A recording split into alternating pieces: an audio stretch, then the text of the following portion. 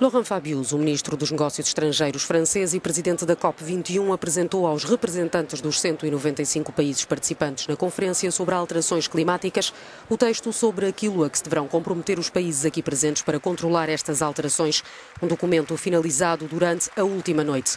O ambicioso Pacto Climático, a barreira dos 1,5 graus Celsius, faz parte deste documento. Este texto, que é necessariamente um texto equilibrado, contém os principais avanços que muitos de nós pensavam ser impossíveis de alcançar.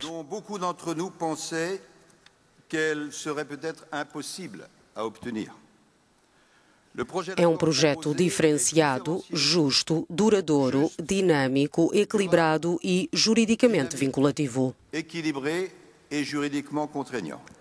Um texto que também François Hollande pretende ver aprovado em Paris este sábado, uma espécie de agora ou nunca. O presidente francês fez, aliás, questão de frisá-lo durante a sua curta intervenção.